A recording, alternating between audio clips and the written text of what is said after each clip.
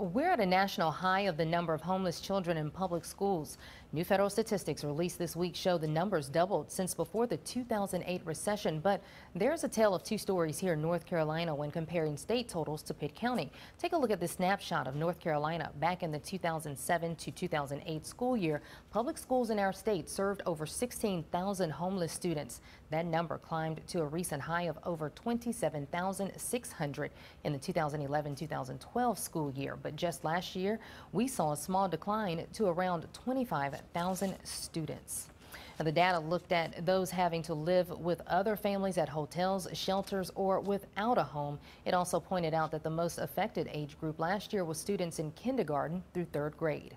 In Pitt County, the local shelter says it's actually seeing more children this year. Last year in August, they only saw eight children, but this year during the month, they saw 18. The director credits the new family rooms, but knows childhood homelessness is a problem. That, that's a whole bunch of children um, as compared to the previous year. So the numbers are increasing, and it appears also the numbers, of, you know, just homelessness um, is increasing. Williams says they have four family rooms at the shelter, and they've been occupied since they opened.